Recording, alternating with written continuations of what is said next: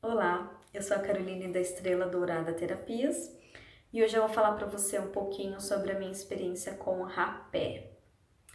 Bom, o rapé é um pozinho, eu não sei explicar, gente, é uma mistura de uns pozinhos que você suga pelo nariz e ele entra assim no, nos seus neurônios, na sua cabeça, na sua mente, para trazer o quê?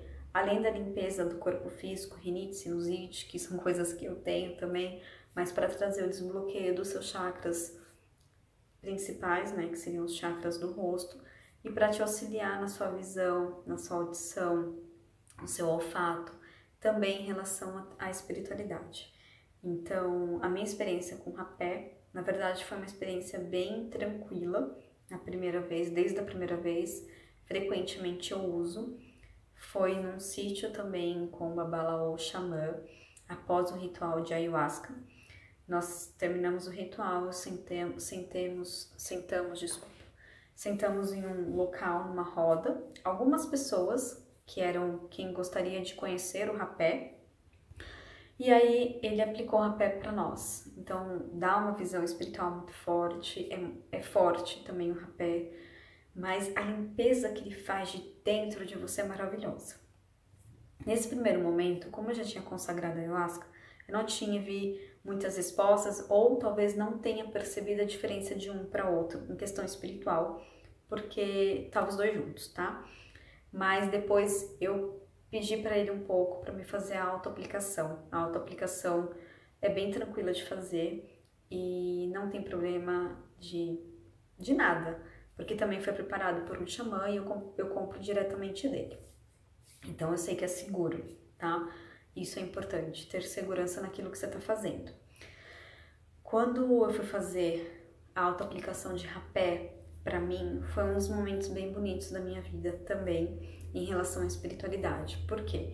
Eu tenho o hábito de meditar com o auxílio dos meus guias espirituais. Eu trabalho na Umbanda, para quem me conhece já faz muito tempo e através desses, dessas meditações, com o auxílio do rapé, eu consigo ter, digamos, uma conexão melhor, né, uma visão melhor de cada situação. Então, num certo momento, eu fui fazer uma meditação com a força da minha cigana e até esse momento eu não sabia quem ela era. Eu só sabia como ela trabalhava, algumas coisas.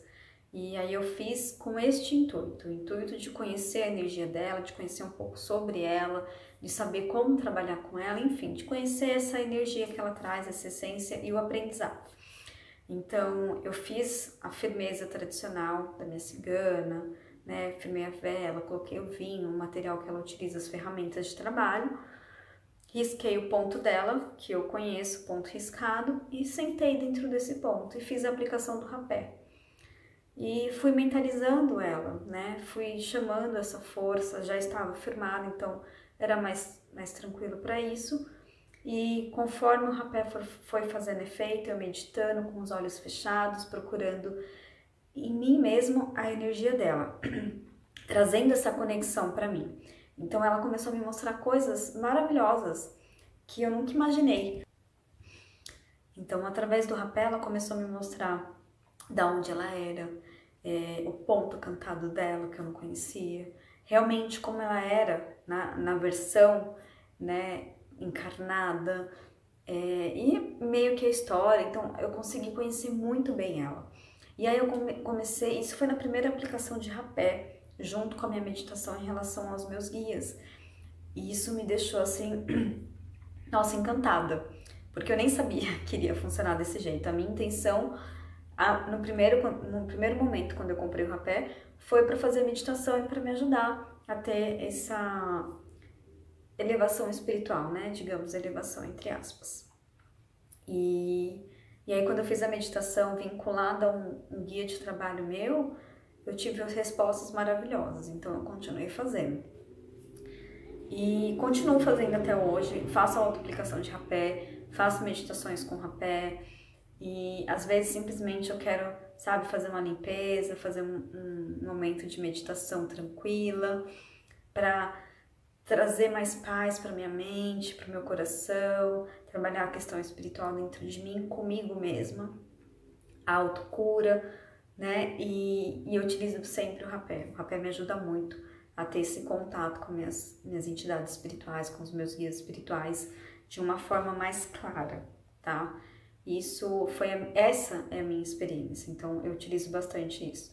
Eu tenho muitos momentos bonitos com rapé, com a utilização do rapé.